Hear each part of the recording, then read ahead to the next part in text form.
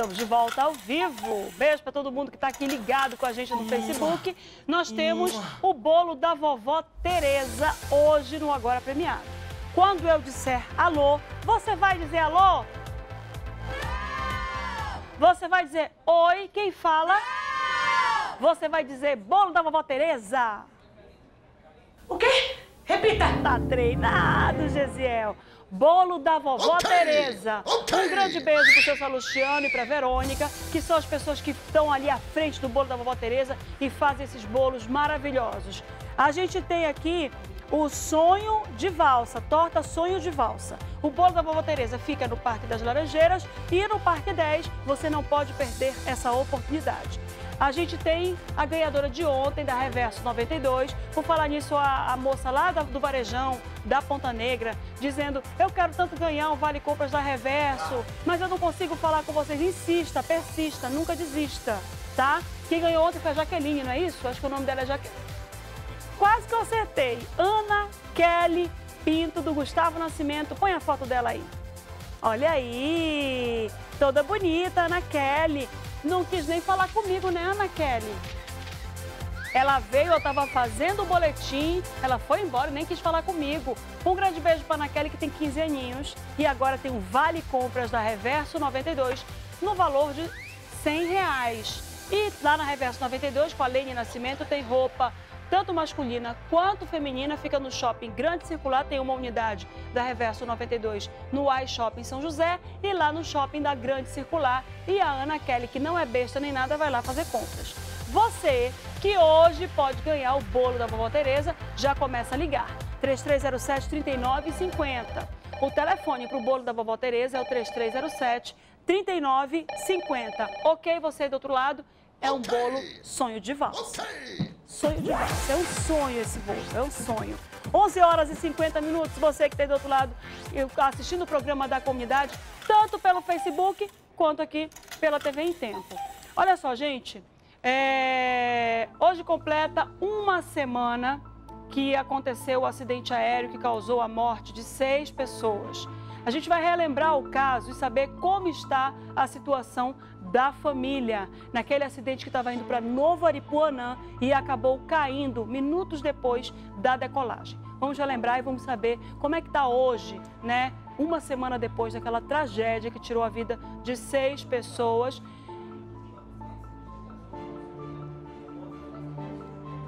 Isso vai ser dito no VT? Vamos, olha, é, o Ivan está me trazendo aqui a informação que diz que disseram na ocasião que o voo não era um voo comercial, era um voo é, de carona. Né? O proprietário morava lá em Novo Aripuanã, era empresário de Novo Aripuanã, e não estava fazendo um voo comercial.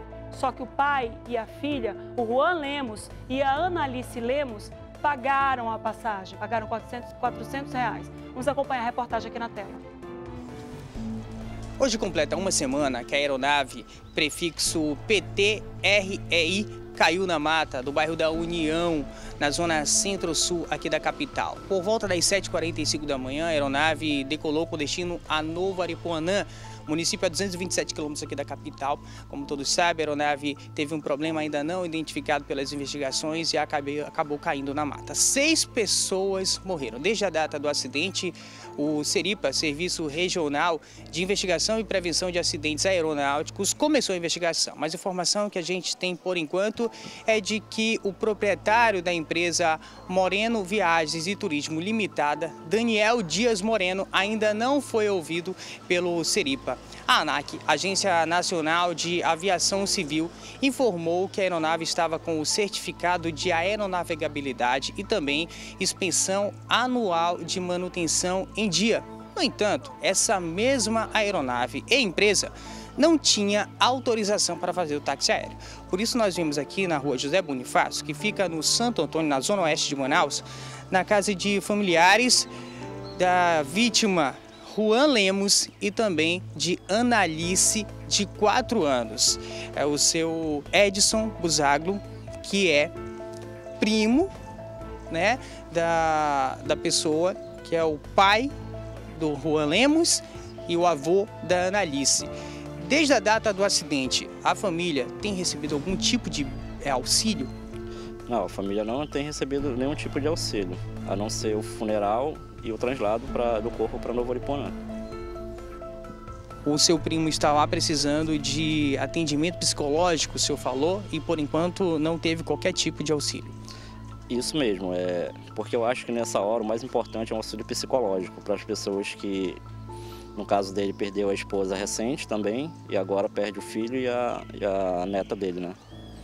Agora, uma situação relevante, a nossa produção apurou que o advogado da empresa disse que é, essa empresa Moreno não fazia voo comercial, táxi aéreo. No entanto, essa informação precisa ser ainda checada porque existe uma mensagem que foi passada pelo Juan Lemos momentos antes de ele decolar daqui do Aeroclube de Manaus, em que ele informa para uma tia lá no município de Novo Aripuanã que pagou 400 reais pela passagem dele e da filha. Inclusive, você está vendo aí a mensagem que foi passada é, para a nossa equipe de reportagem pela família. Isso é um print da conversa. Essa mensagem foi uma conversa entre o Juan Lemos e uma tia lá no município que comprova justamente isso. É o que a família pensa. Né? Isso, ele ia mandar para a tia dele que mora no município e acabou mandando para outra tia que mora aqui em Manaus. Mas aí está é, comprovando que ele pagou 400 reais para viajar no voo e não foi por amizade e, e nem carona que ele pegou. Ele pagou para estar tá naquele, naquele avião. Você que é do município também sabe que esta empresa fazia voo comercial. Você comentava aqui no município, todo mundo sabe disso. Todo mundo em Novo Ariponã sabe que essa empresa ela faz voo comercial para Novo Ariponã dia de segunda, quarta e sexta. Inclusive tinha uma lista de pessoas que voltariam nesse voo que estava indo para lá, como vereadores, empresários. Eles estavam na lista para vir. Só que eles não dão nota fiscal, não dão recibo, eles só pegam o nome da pessoa e colocam numa lista lá, só isso. Pois é, e tanto é que essa empresa ela tem uma sede no município. A gente também tem uma foto da fachada dessa empresa em Novo Aripuanã. Mais cedo nós estivemos no Aeroclube aqui de Manaus, conversamos com o superintendente do aeródromo e ele informou o seguinte: a competência dele ali é cuidar da pista e cuidar também da locação das aeronaves nos hangares e que ele também desconhece essa empresa Moreno é, Viagens e Turismo Limitadas que é, de que essa empresa atuaria ali. Segundo ele, não há essa informação ainda, mas como a gente pode verificar, a família sabe que essa empresa fazia o táxi aéreo, inclusive, como eu já falei, tem a foto lá no município da sede. E agora, o que a família quer é que de fato essa empresa chame a responsabilidade e faça o que tem que fazer, não é isso? É isso que a família quer, que eles digam a verdade para a população e que nesse momento ajude meu primo com alguma coisa, é, é, com algum psicólogo, alguma coisa assim, porque eu acho que nesse momento a pessoa que está mais sofrendo é ele. Muito obrigado pelas suas informações. Pela manhã, quando nós estivemos ainda no Aeroclube de Manaus, nós acompanhamos o Seripa, que foi buscar as imagens da aeronave ainda na pista, indo para a cabeceira e também essas imagens, segundo informações, mostram o momento da decolagem dessas, dessa aeronave. Essas imagens possivelmente vão ser usadas na investigação do Seripa. Ainda não há um prazo para sair o laudo deste acidente, já que ainda não há por enquanto, nada que mostre o que pode ter causado este acidente que matou seis pessoas há uma semana aqui na capital. Fred Rocha parou agora. Obrigada, Fred Rocha. Quando a gente é, manteve contato e ouviu o Daniel Moreno, que é o dono do, da Moreno Turismo lá em Novo Aripuanã, eu cheguei a dizer para vocês que estão aí do outro lado, e teve ainda uma manifestação da Tio Táxi Aéreo, né? Dizendo que não tinha nada a ver com esse voo tem tudo a ver. Daniel Moreno era o dono, era um dos donos da, da, da Tio Táxi Aéreo. Né? Infelizmente, essa que é a realidade. E essa aeronave não tinha autorização para fazer voo comercial. Por isso que não havia documento, não tinha nenhuma nota. Olha aí a conversa no WhatsApp do Luan Lemos, né? E que diz, olha, ele fez por 400 para mim, é, para eu e para Alice, né? Para eu ir e para Alice. E tô indo. Para onde? Aí ela deve ter dito ali. Então, quer dizer, ninguém vai dar carona numa aeronave. A aeronave é cara. É caro abastecer, é caro fazer a manutenção de tempos em tempos, que é por, por hora de voo, que é feita a manutenção. Tudo é caro. Então não existe esse negócio de dar carona em aeronave. Você dá carona em carro. A aeronave você não dá carona, porque é muito caro. E aí qual o motivo? Bondade. Ah, eu sou bonzinho, vou ficar transportando de carona e eu vou pagar a, o combustível, eu vou pagar a manutenção da aeronave para poder levar e trazer pessoas que moram aqui no município? Quer acreditar nisso? Não. Está errado. Ninguém vai acreditar nisso. Então, Daniel Moreno, que é o proprietário da aeronave e era um dos proprietários da Tio Táxi Aéreo, sabe que está fazendo coisa errada. Por isso ele não dá nota, por isso ele não faz documento nenhum. Porque ele, ele fazia voo comercial em uma aeronave que não era habilitada para fazer voo comercial que não tinha autorização da ANAC para fazer voo comercial. E você está vendo aí que o Luan Lemos pagou 400 reais para ir para Novo Aripuanã. Está aí ele. Pagou para morrer. Pagou para, infelizmente, morrer. Ninguém sabe se realmente era feita a manutenção em dia, ninguém sabe o que era, como era que eram os cuidados dessa aeronave. O fato é que o piloto viu que tinha alguma coisa errada o comandante João Jerônimo viu que tinha alguma coisa errada e na hora da decolagem para salvar as pessoas que estavam morando, que moram no final da pista do aeroclube, desviou para a mata e acabou que morreu todo mundo. Imagina só, né? Uma pessoa ainda acabou saiu viva, uma pessoa ainda chegou a ser levada, o Henrique Thies ainda chegou a ser levado Henrique Tchê, será que foi Henrique ou foi o Jefferson? Tinha um Jefferson também, né? Confirma para mim quem foi que foi ainda recebeu atendimento no 28 de agosto, mas morreu uma hora da tarde daquele fatídico dia. Então você que está aí do outro lado acompanhando o programa da comunidade, infelizmente, quando esses acidentes acontecem, o erro, o erro é da companhia, o erro é humano. Essa que é a realidade, o erro é humano. Não vou dizer que é erro do piloto, porque a gente não pode dizer isso até que se prove que o dono da aeronave não fazia as manutenções corretamente. Mas o piloto, infelizmente, também tinha que verificar isso, mas acabou morrendo junto com todo mundo. Então, você que está aí acompanhando o programa da comunidade, está no encalço. Olha a Analice aí, uma das últimas, a última foto da Analice, que já foi dentro da aeronave.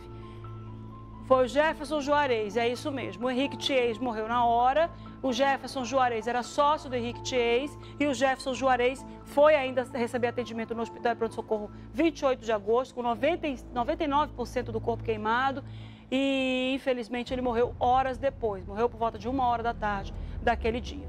Então você que está aí acompanhando o programa da comunidade já sabe que tinha coisa errada nessa história.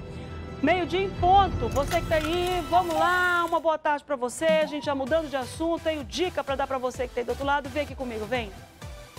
Eita, que no final do dia tá todo mundo com dor na perna, né? Fica o dia todo em pé, trabalhando demais, para acabar com as dores nas pernas e aquela sensação de peso e cansaço provocados pelas varizes, você precisa do Novo Varicel. Com apenas um comprimido ao dia do Novo Varicel, você se livra das dores, sensação de peso e cansaço nas pernas provocadas pelas varizes. Varicel ainda alivia os desconfortos provocados pelas hemorroidas. Dá uma olhada aí nesse depoimento.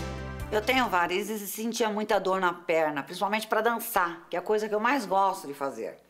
Aí no próprio baile encontrei uma amiga minha, ela falou: "Por que você não toma varicel?" Eu falei: "Não custa nada tentar". Realmente, o cansaço passou, a dor passou e eu tô ficando mais tempo do baile dançando e muito feliz.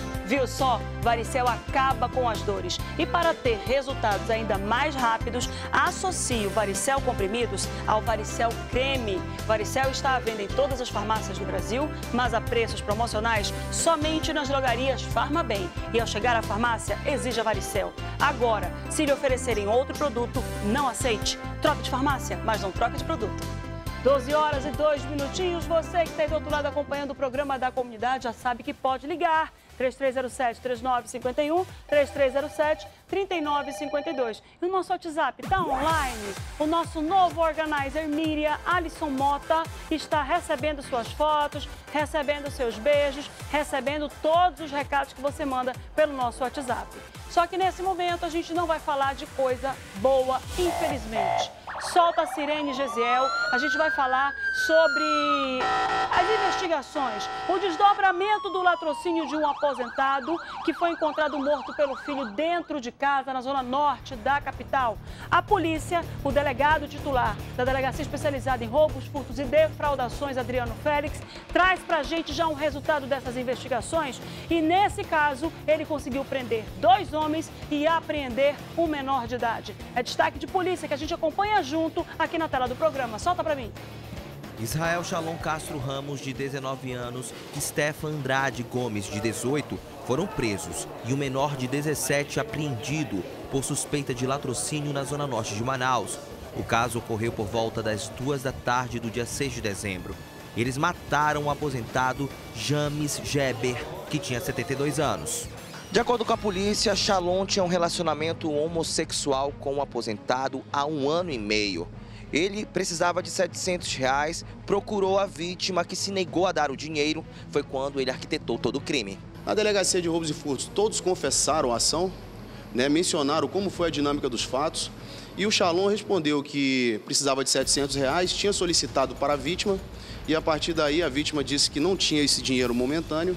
Foi quando eles resolveram, premeditaram um roubo. E durante o roubo acabaram matando a vítima, tendo em vista que ela poderia denunciar a polícia e pelo fato de conhecer o Shalom e ter já um relacionamento com ele há um, há um, ano e meio. O aposentado foi amarrado, enforcado e atingido com vários golpes de marreta. Após cometerem o crime, o trio roubou vários eletrodomésticos e dois veículos que estavam na residência. Shalom e Stefan vão responder por latrocínio. O adolescente deve responder por ato infracional análogo ao crime do latrocínio e será conduzido à delegacia especializada em apuração de atos infracionais. Pega a imagem aí dos dois, por favor, Cris. Tá aí, o Shalom é esse de rosa. Você que está acompanhando aqui a reportagem, o Shalom é esse de rosa. O Shalom tinha um relacionamento, segundo ele, e é importante dizer isso, porque o homem está morto. É, ele está morto, ele não tem mais como negar, como desmentir. E a gente precisa entender que a família está aí e está acompanhando o caso também. Então, esse homem aí, volta para mim, por favor, Cris, um pouquinho. Esse aqui não, esse aqui estava ajudando o Shalom a matar o aposentado. Esse aqui. Esse aqui tinha, supostamente, segundo ele, um relacionamento amoroso com o aposentado há pelo menos um ano e meio. E, segundo ele, ele pedia dinheiro do aposentado. Solicitava dinheiro para poder pagar os luxos, comprar alguma coisinha, as besteiras dele, tudo. E nesse fatídico dia, o Shalom chega lá e diz, olha, me arranja aí 700 reais. Me arranja 700 reais, eu quero 700 reais para fazer farra, para fazer alguma coisa, porque eu vou logo avisando, isso aqui tem envolvimento com tráfico de drogas. Eu não tenho nenhuma dúvida. Porque três rapazes, de três homens desses aqui, um menor e dois, não vão fazer, cometer o crime que cometeram por nada. Balada não faz isso, vontade de ter um telefone não faz isso. Só o que faz isso faz a pessoa virar um bicho é o tráfico de drogas. E eu não tenho dúvida nenhuma. Aí o Shalom chega lá e diz assim: me dá os 700 reais. O homem pega e fala: não, eu não tenho agora, depois eu te consigo os 700 reais. Ele, na fissura para usar droga, porque infelizmente a droga faz isso, faz você enlouquecer. Ele na fissura disse: Eu quero é agora. E se tu não me arranjar o dinheiro agora, eu vou fazer aqui uma besteira. Eu duvido se não teve isso. O homem se aborreceu e disse: Sai daqui que eu não vou dar arrumar dinheiro nenhum, não. Ele vai lá, pega mais dois, um menor de idade, entra de novo na casa, esgana o homem e mata o homem amarretada para roubar, porque ele queria, porque queria os 700 reais. E se não conseguiu por bem, conseguiu por mal. Roubou ainda dois carros, qual é que são essas imagens que você está vendo aí? Roubou a vida do aposentado, roubou a vida do aposentado e agora roubou também a paz de espírito da família dele. Porque esse menino tem mãe. Esses três aqui devem ter mãe, deve ter pai, eles estão sem a paz de espírito. Realmente o menino é o problema. Esse homem, né? Não vou chamar de menino não, porque menino é menino pequeno. Tem um problema. Agora vai responder processo criminal por latrocínio, que é o roubo seguido de morte. Quando, na verdade, ele queria roubar e não queria matar. É por isso que é chamado de latrocínio. Tá aí, ó. Os dois agora vão responder processo criminal e o menor de idade, ato infracional. Com essas imagens, a gente vai para um rápido intervalo e mais uma vez, parabéns à polícia! Que rapidamente, em uma semana, parabéns ao doutor Adriano Félix e à delegacia, os investigadores da delegacia especializada em roubos, furtos e defraudações. A gente volta já já.